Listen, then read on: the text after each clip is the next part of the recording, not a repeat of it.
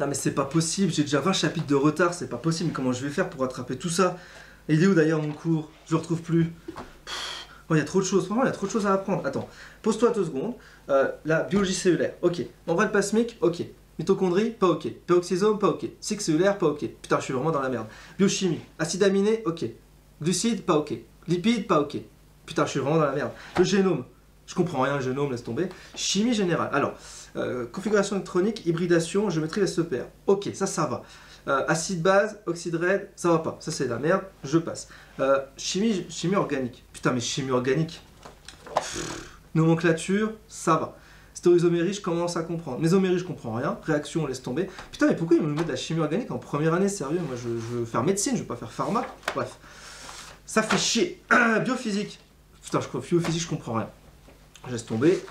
Euh, biostatistique. Biostatistique, je comprends rien. Je laisse tomber. Oh, c'est pas possible, on peut plus. Allez. Allez, voyons voir. Oh putain de sa mère. Tout ça. Putain, j'ai 20 chapitres de retard. Comment je vais faire? Est-ce que c'est rattrapable? NT, aide-moi, aide-moi, aide-moi, aide-moi, NT, s'il te plaît. Bon bref, vous avez compris le concept. Euh, si tu te retrouves dans cette situation, n'hésite pas à me le dire en commentaire de cette vidéo, euh, ça m'intéresse toujours. Euh, moi j'ai déjà vécu cette situation-là, je sais à quel point c'est hyper difficile, c'est hyper stressant d'être en retard et de ne pas savoir comment réagir à force de voir des chapitres qui s'accumulent et qui s'accumulent sur la table et qu'on n'arrive pas à avoir le temps de réviser. Donc aujourd'hui, mon objectif, c'est de te, donner 15 conseils pour que tu puisses eh ben, éviter ce retard ou en tout cas le rattraper. D'accord? C'est le but du jeu. On va voir ça tout de suite. Alors bonjour à tous, pour ceux qui ne me connaissent pas, je m'appelle Enti, je suis enseignant et coach Pastas et dans, sur cette chaîne YouTube, bien entendu, je t'aide à réussir ton année donc d'études de santé pour que tu puisses passer en deuxième année des études MMOPK, hein, médecine, maïotique, euh, odontologie, pharmacie et kinésithérapie. Donc n'hésite pas bien sûr à t'abonner sur cette chaîne YouTube, tu retrouves bien sûr plusieurs centaines de vidéos cours, vidéos cours et méthodes. Et puis, euh, bah, n'hésite pas bien sûr à liker cette vidéo, ça m'aide également pour le référencement. Ok, alors aujourd'hui, je vais te donner 15 conseils qui vont te permettre justement d'éviter ce retard, ou en tout cas de pouvoir le rattraper. Euh, c'est des conseils qui sont assez simples, mais qui sont super importants et que vous me laissez totalement de côté. Alors, première chose, il va falloir changer d'état d'esprit par rapport à ce retard on a tendance à se focaliser sur ce retard. Ah, il y a du retard, il y a du retard, voilà, comme je l'ai dit, il y a 20 chapitres de retard, comment je vais faire? Au lieu de se dire qu'il y a 20 chapitres de retard, fais l'inverse. Quels sont les chapitres que tu connais Ah, membrane plasmique, je suis content, je le connais. Ah, chimie organique avec stéréosomérie, je le connais. Enfin voilà, bref, faites l'inverse. Qu'est-ce que vous connaissez? C'est déjà une belle progression. Donc, un, ne te préoccupe pas du retard, ne culpabilise pas, d'accord? Vous avez tendance à vouloir énormément culpabiliser. Le retard, c'est normal, c'est un processus normal, surtout en cette période. Deuxième conseil, euh, ne va plus en cours si tu sens clairement que tu perds ton temps. Je vois encore des étudiants qui vont en cours et qui sentent qu'ils perdent leur temps et qu'ils y vont parce qu'ils ont peur de je sais pas trop quoi, de perdre des informations. Non, là à un moment donné, il faut faire un choix. Et ce choix, c'est optimiser son temps, d'accord, par rapport à ça. Troisième conseil, je vous conseille bien sûr de vous poser et de vous faire une petite liste. Alors cette liste, ça va être la liste des tâches prioritaires, les chapitres les plus importants que vous n'avez pas encore vus, pas encore eu le temps de réviser à fond, à fond, à fond. Faites la liste des tâches les plus urgentes, d'accord? Commencez par ça. Ne cherchez surtout pas à vouloir apprendre dans les détails. Je vois encore beaucoup trop d'étudiants qui cherchent à apprendre les détails des cours pendant plusieurs heures.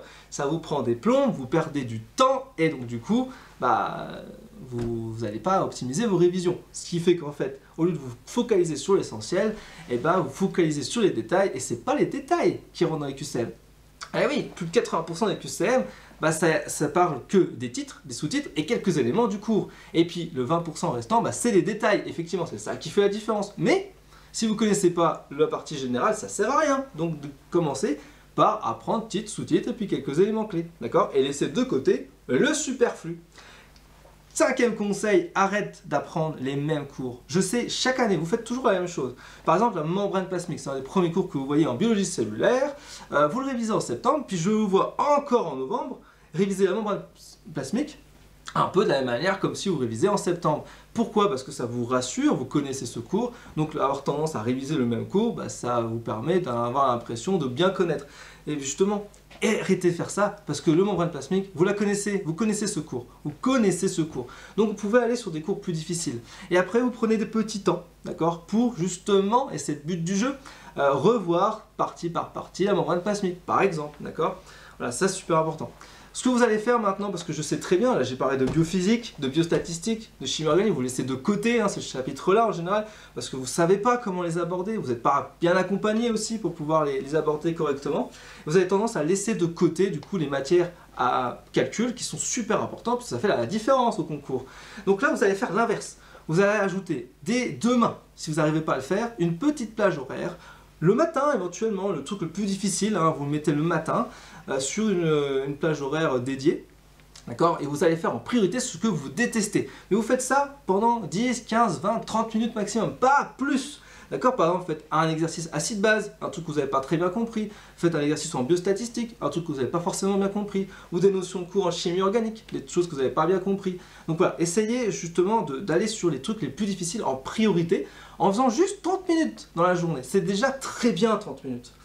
Euh, septième conseil que je vais pouvoir vous donner, c'est cherche bien sûr une solution à tous tes problèmes. Je vois beaucoup trop d'étudiants qui m'appellent en urgence, en détresse au mois de novembre parce qu'ils n'ont pas compris des cours en chimie organique, en biostat, en biophysique et que du coup bah, il faut que j'arrive en urgence pour euh, les aider. Mais ça marche plus parce que vous êtes déjà en retard. C'est trop tard le mois de novembre, c'est trop tard. Anticipez vos problèmes.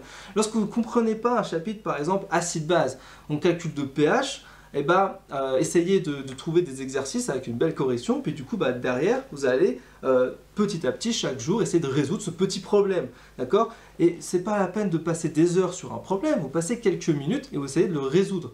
Si vous n'arrivez pas à le résoudre, c'est que vous avez besoin de quelqu'un pour vous accompagner, d'accord? C'est pour ça que je suis là aussi, hein, et que vous avez le groupe d'entraide sur Discord. D'ailleurs, je vous mets le, lien ici, vous puissiez aller dans le groupe d'entraide. Si ce n'est pas encore fait, vous êtes quasiment 5000 sur le groupe d'entraide. Donc profitez-en, il y a des tuteurs pour bien sûr répondre à vos questions.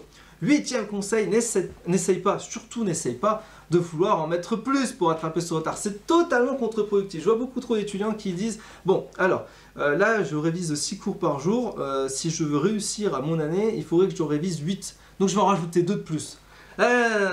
Ça, c'est totalement contre-productif. Parce que si tu fais ça, tu vas t'épuiser plus vite, d'accord? Et ensuite, derrière, tu vas faire un burn-out, d'accord? Donc ne fais surtout pas ça. Et au contraire, tu vas faire l'inverse. Et oui, ça paraît étonnant parce que quand on a du retard, en fait, il faut avoir faut changer sa vision des choses, hein, je vous ai dit, pour euh, créer de l'avance. Alors pour créer de l'avance, vous allez optimiser votre planning en rajoutant ce qu'on appelle des leurs techniques. D'accord? Donc en gros, l'idée, c'est euh, tout simplement de dire, bah voilà, je vais prendre une demi-après-midi et je vais mettre rien du tout. Je vais mettre loisir, plaisir, voir ma famille, des conneries comme ça. Et en fait, euh, vous savez très bien, c'est un leurre hein, au niveau du cerveau que sur cette période-là, vous n'avez qu'une envie, c'est de réviser. Donc vous mettez des notions de plaisir, vous mettez rien, pas de cours, et en fait, votre cerveau, va, enfin, vous, allez avoir envie sur cette période-là de réviser. Et c'est ça qui est intéressant, c'est de créer des leurs techniques. Vous rajoutez moins de cours, au lieu de mettre 6 cours par jour, vous en mettez que 4, mais au moins ce sera 4 bien appris. D'accord? C'est ça qui est important. Et donc du coup, comme je dis, il bah, faut supprimer les chapitres que vous avez déjà vus ou les chapitres qui vous semblent non essentiels pour l'instant. Vous inquiétez pas, vous avez toujours à un moment donné le temps de rattraper ces chapitres qui n'ont pas été vus. D'accord? C'est super important. Euh, dixième conseil, et ça, euh, je le répète chaque année, vous êtes très très nombreux à ne pas encore vous entraîner au QCM au mois de novembre. Donc faites-le le plus tôt possible. Entraîne-toi le plus tôt possible avec des QCM pour contourner tous les pièges. Parce que tu, es euh, sur un concours où c'est noté par des QCM. Donc la personne, les étudiants qui connaissent très bien leur cours, qui ne sont jamais entraînés au QCM, ils vont se vautrer. Alors que si tu, tu connais ton cours à moitié, mais que tu t'es entraîné au QCM, tu vas réussir. Tu vois la grande différence? Il faut bien comprendre ça. Alors pour s'entraîner au QCM, euh, un des premiers conseils que je peux te donner, c'est de commencer par des petits QCM d'entraînement qui va juste valider tes connaissances sur le cours en un instant T. Donc l'idée c'est quoi? Tu vas réaliser ton cours et tu vas te faire quelques vrais ou faux sur ton cours. Alors tu as des QCM qui peuvent être donnés par le tutorat, par ta prépa éventuellement. Euh, sinon tu peux aussi toi-même créer euh, des QCM. Moi j'utilise l'application VooFlash pour créer des QCM vrais ou faux. Et du coup quand tu révises un cours, bah, tu peux faire quelques vrais ou faux pour consolider et voir un peu tes connaissances. C'est pas trop mal. Une fois que tu as bien maîtriser ça en termes de petites connaissances en QCM, tu vas sur les QCM d'anal et là tu vas passer environ 2-3 euh, heures dans le week-end pour pouvoir voir les QCM d'anal et être de plus en plus efficace sur euh, le fait de ne pas tomber dans les pièges. Ok, c'est le but du jeu. Onzième conseil, et ça c'est important, autorise-toi de faire un excès dans tes révisions avec la méthode Hermite que je vous ai présentée il n'y a pas très longtemps. Je vous encourage bien sûr à regarder la vidéo si ce n'est pas encore fait. Alors quand je dis quand on utilise la méthode Hermite, hein, ce qui est super important c'est de euh, faire en sorte, ça c'est super important, euh, que ça soit pas sur une trop longue période. En grosso modo, l'idée c'est de faire 7 jours. 7 jours de méthode Hermite pour pouvoir se remettre dedans. Et tu vas pouvoir utiliser cette méthode deux ou trois fois jusqu'à ton concours. Et puis la dernière semaine, tu utilises bien sûr la méthode Hermite, ça c'est évident. Douzième, euh, et ça c'est super important, douzième euh, conseil, euh, et je le vois trop souvent, ne te compare pas aux autres. Hein. vous êtes trop trop souvent en train de vous comparer, vous êtes en train de vous dire, bon ok, lui là, il, m'a dit, voilà, je, il connaît le cours sur la mitochondrie, le cycle cellulaire, il connaît par cœur les glucides et les lipides, je suis vraiment dans la merde. Si lui connaît ça, moi je suis dans la merde. Non, surtout, ne te compare pas aux autres. N'essaye pas de regarder ce que lui, il connaît, parce que c'est peut-être une connerie. Il te dit qu'il connaît, mais en fait, il connaît pas. Et du coup, ça donne pour lui, ça donne un excès de confiance. Il va pas forcément bien s'entraîner au QCM, alors que toi, c'est l'inverse. Tu n'as pas assez confiance en toi. Du coup, tu vas devoir plonger dedans pour te mettre en confiance et ensuite comprendre les pièges du QCM qui arrivent derrière. Donc, vous êtes différents, d'accord? Peut-être qu'il y en a un qui connaît bien son cours, mais il sait pas les QCM, et toi inversement. Donc ça, c'est une connerie de te comparer aux autres, et essayez d'éviter ça, d'accord? Euh, treizième conseil, euh, chaque jour, chaque jour, à partir de demain, tous les soirs, tu vas te remémorer ta journée. Qu'est-ce que tu as fait dans ta journée? Qu'est-ce que tu as appris? Qu'est-ce que tu n'as pas eu le temps de faire? Hein, Tu te remémores, le matin, je me suis levé à telle heure. Ensuite, j'ai pris le petit déjeuner à telle heure. J'ai pris une petite douche. Je me suis habillé. Oui, des trucs comme ça, faut les remémorer, c'est important. Ensuite, bah, tu vas avoir cours 1. Ah, tiens, cours 1, membrane plasmique. Qu'est-ce que j'ai vu là-dedans? Ah, tiens, phospholipides. Phosphatidylcholine, phosphatidyl'inositol, phosphatidylstérine, éthanolamine, glycérol, etc. Tu, tu euh, dis quelques petits éléments que tu avais en tête, et tu fais ça pour chaque cours, sans aller dans les détails. Et puis du coup, ça va permettre à ton cerveau que lorsque tu vas dormir, de pouvoir restructurer ta journée de façon efficace, et donc mieux assimiler, mieux faire l'ancrage, d'accord, des cours. Euh, quatorzième conseil que je vais pouvoir te donner, euh, à chaque fois que tu as appris quelque chose de nouveau, récompense-toi. D'accord? Sois fier de toi. En gros, c'est tout simple.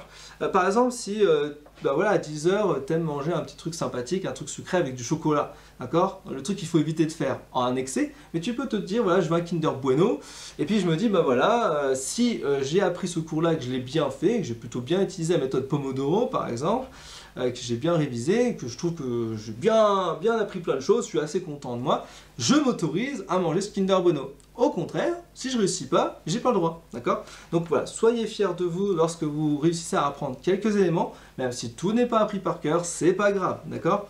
Et quinzième conseil, le plus important, tous les jours, tous les jours à partir de demain, tu vas te dire à chaque fois que tu vas te réveiller, je vais devenir l'élite je vais devenir élite, je vais réussir mon année. Ça veut dire quoi? Ça veut dire quoi devenir élite? Ça veut dire réussir son année et être admis en deuxième année des études MMOPK. Donc, donc, donc, dès demain, tu commences ça et tu dis toi que tu es élite, d'accord? Donc d'ailleurs, dans, le dans les commentaires, je veux voir un maximum de élite et je veux que tu me dises que tu as la méga pêche, que tu vas réussir ton année et que tu as la rage. D'accord? C'est absolument ça que je veux entendre et c'est super important. D'accord? Donc voilà. Donc euh, si tu as euh, des questions par rapport au retard, si tu as des doutes et tout, n'hésite pas à me le dire en commentaire de cette vidéo. Je répondrai à tout le monde. D'accord? Donc je te souhaite un excellent courage. Continue, ne lâche rien. D'accord? Tout est possible. D'accord? Et tu peux réussir ton année en excellent de ouf. Mais ça, tu n'en as peut-être pas forcément conscient. D'accord? Allez, moi je te retrouve pour une prochaine vidéo. J'espère que cette vidéo t'a aidé. Je te dis à très vite. Ciao, ciao, ciao, ciao